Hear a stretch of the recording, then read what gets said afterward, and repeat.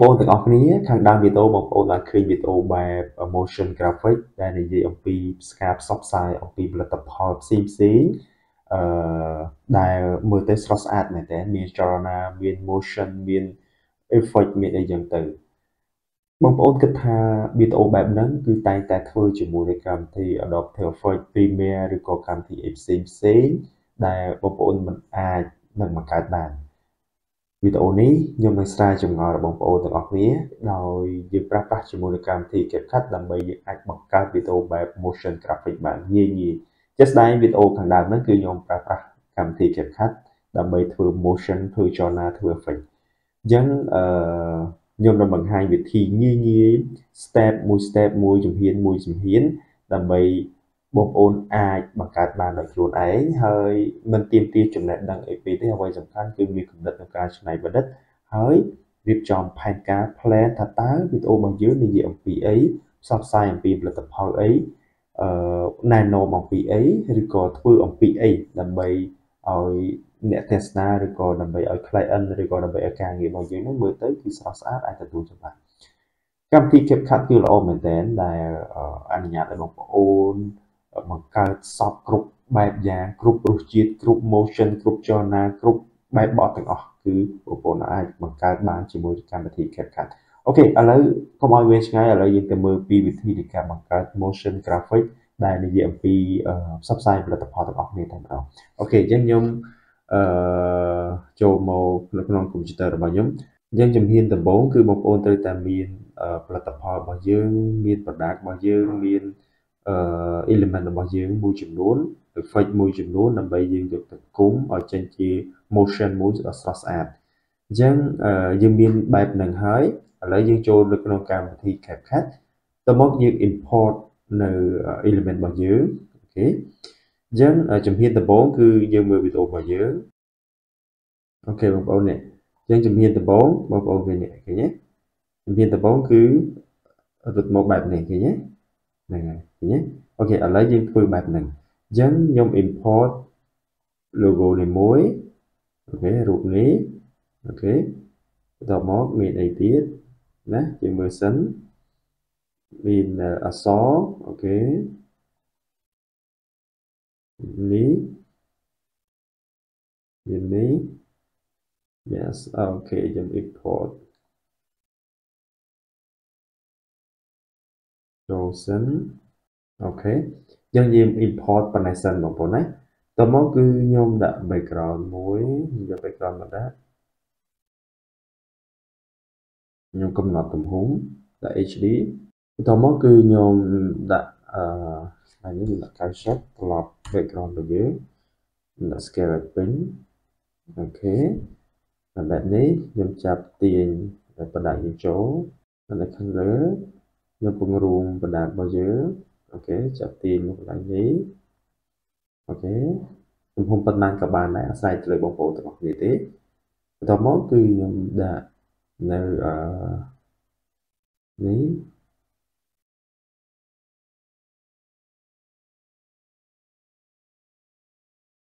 អូខេរ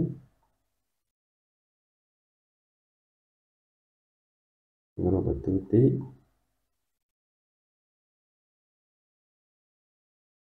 ដាក់មកឆ្ងាញ់មកបងប្អូន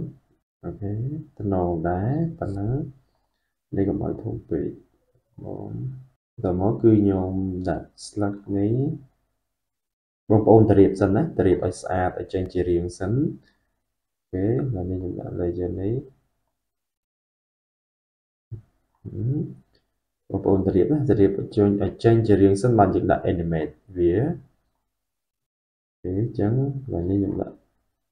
layer ទី1ដែរតាមបែបហ្នឹងហើយយើងដាក់អក្សរអក្សរយើងនៅខាងលើនេះទូបន្តិចទៅមកគឺយើងដាក់ logo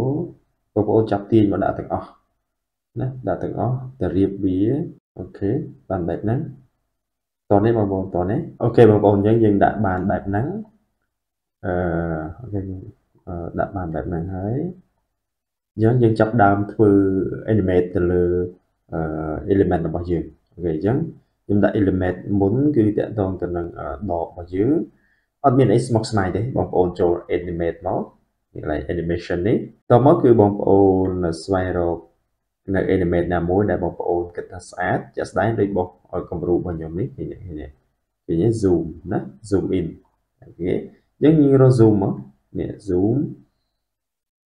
OK យើងប្រាប់មួយនេះមកឃើញទេបងប្អូនឃើញទេ OK យើងយើងដាក់លេខ1មកឲ្យត្រង់យឺតតិចអាស្រ័យទៅលើវិនាទីដែលបងប្អូនចង់បានទេនេះក៏ខ្ញុំធ្វើឲ្យយឺតដើម្បីបងប្អូនបានមើលឃើញទាំងអស់គ្នា OK អញ្ចឹងបន្ទាប់មកអឺយើងបានមួយឃើញទេអញ្ចឹងនេះគឺជាតកតងទៅនឹងអឺរូបផ្លែរបស់យើងនេះអូខេ ដាក់មកឥឡូវនេះយើងដាក់មួយដែរហើយវិនាទីដូចគ្នាអូខេ strawberry នេះ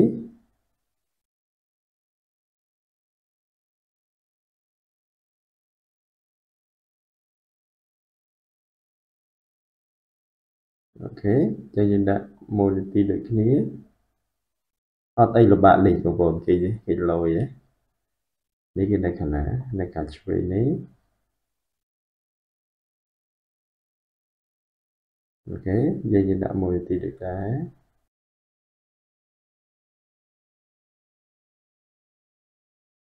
មួយនាទីដូចគ្នាអស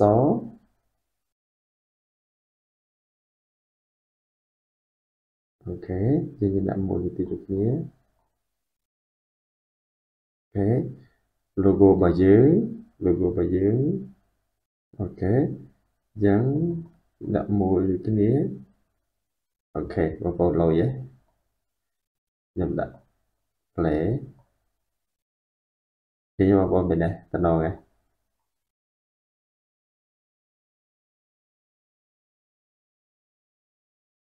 មិនដែលបងប្អូនតំណងហ៎ឡើយកម្មវិធី CapCut គឺជួយ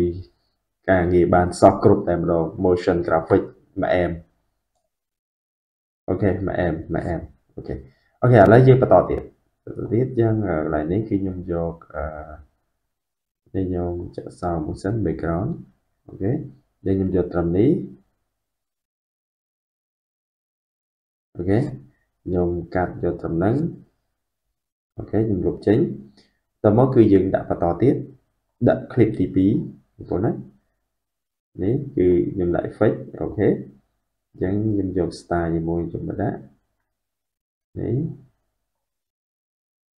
OK ខ្ញុំចាប់ទាញចូលដាក់នៅខាងលើគេលើគេនេះខ្ញុំ remove background ចេញ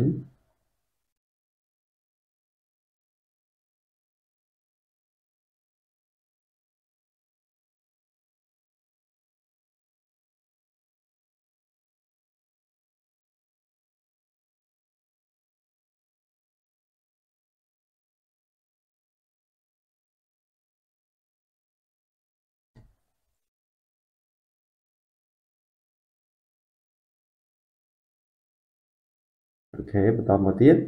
គឺយើងដាក់នេះបងប្អូនណានេះចាំមើល OK អញ្ចឹងយើងដាក់ strawberry OK អញ្ចឹងយើងមាន play strawberry ច្រើនមែនតើយើង upload ចូលមកអញ្ចឹងយើងយកមកតម្រៀបអានេះដាក់ឲ្យនេះយើងយកមកតម្រៀបសិនបងប្អូនវីដេអូនេះអាចវែងបន្តិចបងប្អូនណាអញ្ចឹងបងប្អូនអាចព្យាយាម មើលទាំងអស់គ្នាដើម្បីជាប្រយោជន៍ដើម្បីបងប្អូនអាចធ្វើបានទាំងអស់គ្នាហ្នឹងហើយអញ្ចឹងអឺអូខេអញ្ចឹងឡើយនេះខ្ញុំដាក់តសខ្ញុំដាក់ background ឲ្យវែង rồi ខ្ញុំតម្រៀបវាខ្ញុំពង្រូបវាបន្តិចខ្ញុំដាក់ទៅនេះស្លឹកឈើនេះទៅនេះ បងប្អូនអរគ្នាតម្រៀប element របស់យើងឲ្យចេញជារូបរាងបែបហ្នឹងបន្តមកចាំយើងដាក់ animate បងប្អូនណាអូខេអញ្ចឹងខ្ញុំដាក់អឺខ្ញុំដាក់ទឹកមួយទៀតថ្ងៃនេះតមកគឺខ្ញុំ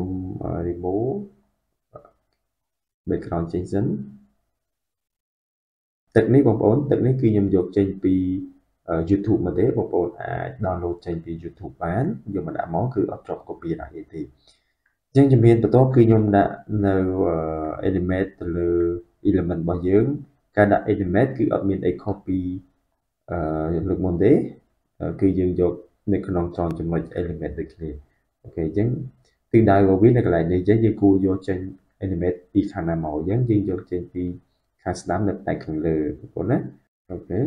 កឡើងនេះខ្ញុំដាក់1 OK 1តមក ហើយនេះមួយនេះ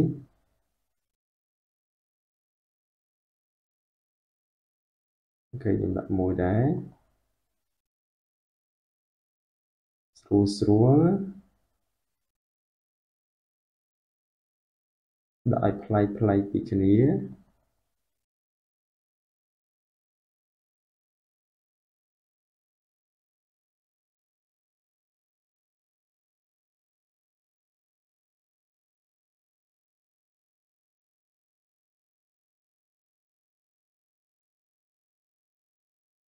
ខ្ញុំដាក់មួយ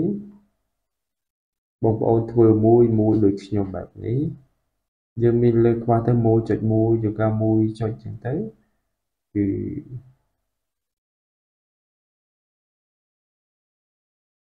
អូខេដល់នេះគឺខ្ញុំយក1.2មកនេះ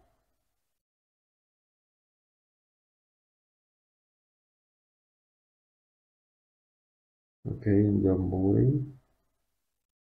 មានអីទៀតស្លឹ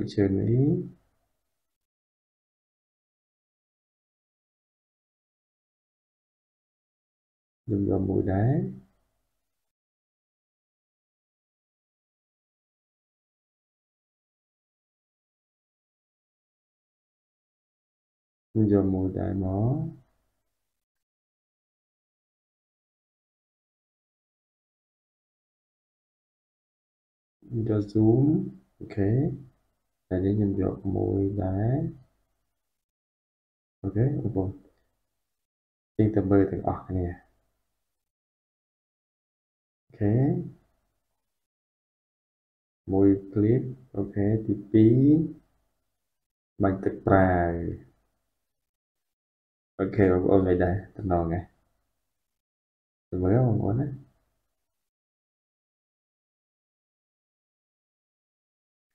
លយវាយ៉ាងដែរឃើញទេលយអញ្ចឹងខ្ញុំចង់ដាក់ animate បន្តិចក៏មកអក្សររបស់យើងគឺវាថ្មឹងពីចេញមកវាថ្មឹងគឺអត់ល្អទេអញ្ចឹងកន្លែងនេះកន្លែងនេះខ្ញុំចូលវីដេអូវិញ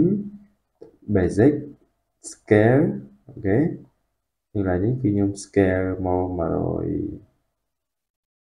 110មក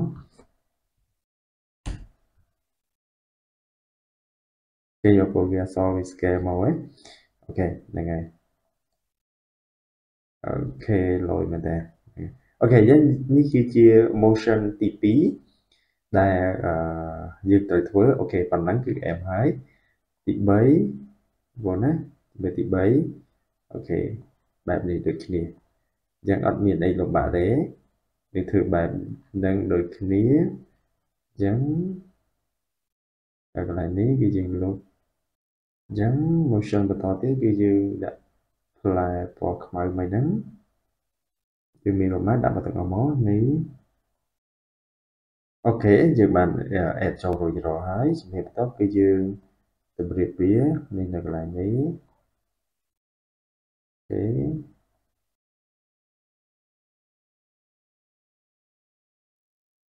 អូខេបងប្អូនអញ្ចឹងយើងតម្រៀបបានបែបនេះបងប្អូនណា អញ្ចឹងជំហានបន្ទាប់គឺយើងដាក់ animate អូខេអញ្ចឹងយើងចុចមក animate ហ្នឹងគឺអត់មានអីខុសពីខាងដើមទេគឺយើងដាក់ animate បែបនេះដែរអូខេអញ្ចឹងឡើយនេះយើងដាក់លេខ1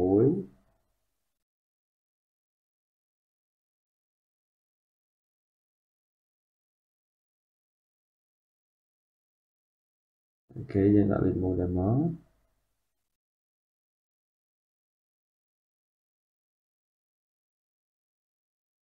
thế.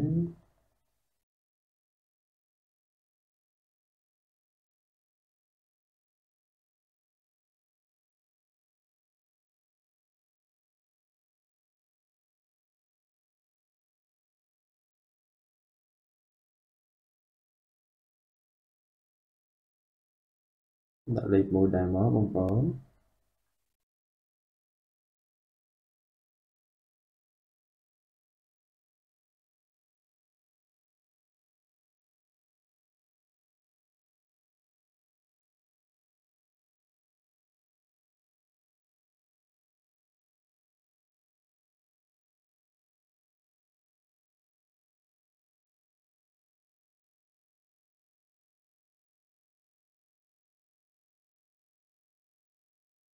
អូនអក្សរនេះគឺយើងដាក់ zoom out zoom នេះអូខេអញ្ចឹងយើងដាក់លេខ1ដែរមកលេខនេះខ្ញុំដាក់លេខ1ដែរយើងឡើយនេះគឺយើងដាក់ឲ្យអក្សររបស់យើងមានចលនាតិចមកកុំឲ្យថ្មឹងពេកអូខេហើយយើងដាក់ 110ដែរទៅ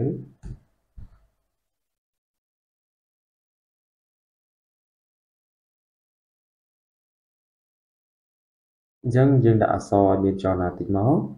យើងចុចទៅលើ layer អក្សរនេះតមកគឺអឺដាក់ keyframe មួយកន្លែងនេះដាក់160 យើងពេលតែកាត់ចេញមក OK វាឡើង zoom out មករហូតឃើញទេតម្លងម្យ៉ាងដែរឡូយ OK ហ្នឹងហើយយើងខ្ញុំគិតថា step នីមួយនីមួយបែបនេះគឺបងប្អូនយល់ហើយបងប្អូនអាចធ្វើបានខ្ញុំព្យាយាមបង្ហាញបងប្អូនអរគ្នាមួយមួយមួយមួយណា OK ឥឡូវយើងមើលបន្តិចមកបើអូខេ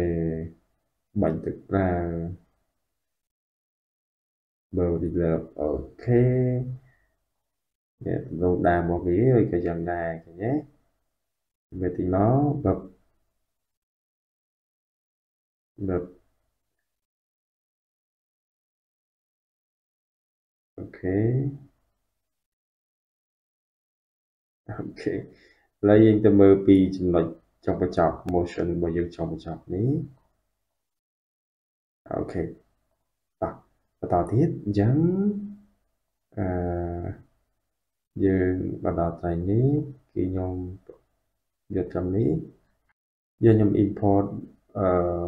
កំប៉ុងរបស់យើង OK យើងនេះដាក់ចូលរកបន្ទូចថ្ងៃនេះអូខេបន្តមកអក្សរបងប្អូនណាអក្សរនេះ អូខេបងប្អូនអញ្ចឹងយើងជម្រាបបានបែបហ្នឹងមកបងប្អូនទៅរៀបឲ្យស្អាតណានេះគឺខ្ញុំបង្ហាញបងប្អូនអរគ្នាដូចជាមើលទៅដូចរញ៉េរញ៉ៃមិនក៏នេះដែរបងប្អូនទៅរៀបឲ្យស្អាតមកហ្នឹងហើយស្អាតជាងខ្ញុំណាហ្នឹងហើយអឺ layer ច្រើនបន្តិចហ៎បងប្អូននេះ layer ច្រើនមែនដែរហ្នឹងហើយអញ្ចឹងខ្ញុំគិតថាបងប្អូនអត់អីទេអាចតាមតទាំងអស់គ្នាជំរាបបន្តគឺយើងដាក់ element អញ្ចឹងដាក់ element គឺខ្ញុំដាក់អឺ តាមនេះអូខេ element អញ្ចឹង element របស់យើងគឺរុញចុះមកក្រោម zoom អឺនេះគឺ post up អូខេយើងឡើយនេះខ្ញុំដាក់មួយអូខេតមកអក្សរ post up ដូចគ្នាឡើយនេះគឺអឺ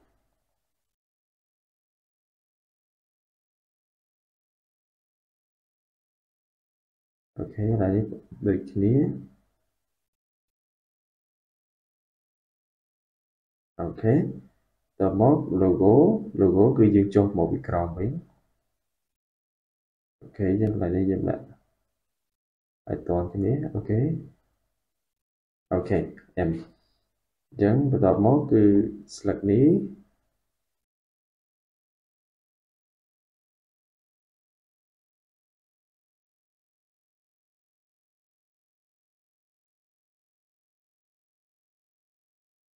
អូខេយើងដាក់នេះយើងដាក់មួយអត់មានអីស្មុគស្មាញទេបងប្អូនឃើញទេតែតដែរតដែរទេតទៅទៅនឹងការធ្វើ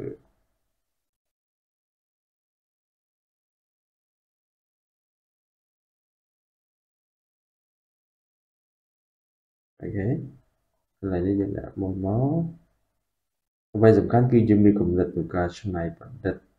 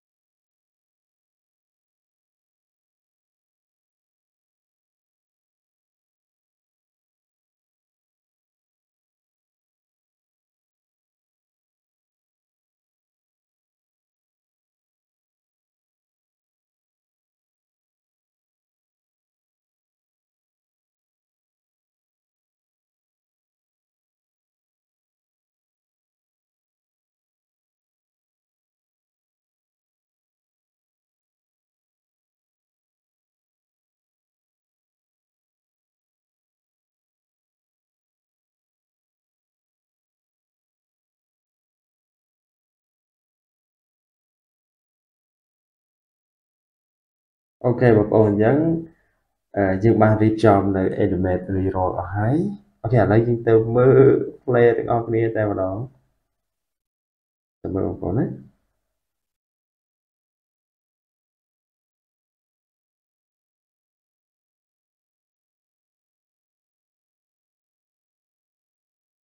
អូខេបងប្អូនតំណងតំណង glory OK អញ្ចឹង អានេះគឺយើងដាក់ស្មើគ្នាមក OK ឡូយមែនតើ OK បងប្អូនអរគុណយើងរបៀបនៃការធ្វើ motion graphic អឺដែលតកតងទៅនឹងការផ្សព្វផ្សាយអំពីផលិតផលជាមួយនឹងកម្មវិធី CapCut គឺខ្ញុំគិតថាបងប្អូនអាចតាមតទាំងអស់គ្នាហើយបងប្អូនអាចធ្វើបានទាំងអស់គ្នាអ្វីសំខាន់គឺអត់ស្មុគស្មាញទេ គឺយើងដាក់ animate ស្រាប់ស្រាប់តាប់ដាក់ទៅលើ layer របស់យើងតែម្ដងហ្នឹងហើយមើលទៅគឺស្រួលមែនតើអ្វីសំខាន់គឺមានគំនិតក្នុងការច្នៃប្រឌិត មានទេពកោសល្យក្នុងការ design អញ្ចឹងខ្ញុំគិតថាវីដេអូមួយនេះគឺជួយសម្រួលការងាររបស់បងប្អូនក្នុងការអឺសម្រួលការងារប្រចាំថ្ងៃឬក៏យើងធ្វើអំពីផលិតផលផ្សព្វផ្សាយអីមួយឬក៏ធ្វើក្បាលវីដេអូអីចឹងណា អញ្ចឹងការបង្ហាញរបស់ខ្ញុំតាក់ទងទៅនឹងការធ្វើ motion graphic តាក់ទងនឹងការផ្សព្វផ្សាយអំពីផលិតផលជាមួយនឹងកម្មវិធី CapCut នេះខ្ញុំគិតថាបងប្អូនអាចតាមតទាំងអស់គ្នាបងប្អូនអាចធ្វើបានទាំងអស់គ្នាខ្ញុំបានបង្ហាញបងប្អូនអស់គ្នាមួយមួយយឺតយឺតហើយអ្វីសំខាន់គឺបងប្អូនមានគំនិតក្នុងការច្នៃប្រឌិតឬក៏មានទេពកោសល្យក្នុងការ design ដើម្បីមើលទៅគឺដោយរបស់ពិតតែម្ដងតែពិតយើងធ្វើជាមួយនឹងកម្មវិធី CapCut ទេយើងមិនបាច់ធ្វើជាមួយ Adobe After Effects ឬក៏ Premiere នៅក្នុងកម្មវិធីធំធំទេព្រោះវាត្រូវការចង keyframe ចង animate អីច្រើនច្រើនមែនតើអញ្ចឹងបងប្អូនមួយចំនួនបើសិនបើអត់បានរៀនទេគឺពិបាកមែនតែប៉ុន្តែគាត់ថា CapCut អាចធ្វើបានដូចគ្នាបីបាត់គេណាដូចគ្នាបីបាត់អញ្ចឹងណា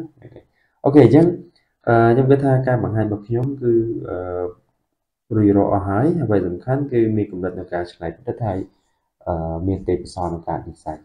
បើសិនបើអូខេហើយគឺបងប្អូនចុច export វីដេអូរបស់យើងចេញតែម្ដងដើម្បីយើងយកទៅប្រើប្រាស់អូខេបងប្អូនអរគុណអញ្ចឹងវីដេអូនេះខ្ញុំមានប៉ុណ្ណឹងដើម្បីចែករំលែកបងប្អូនអរគុណសង្ឃឹមថាបងប្អូនពេញចិត្តវីដេអូមួយនេះហើយសូមជួយគ្រប់គ្រងវីដេអូរបស់ខ្ញុំបាទផងដើម្បី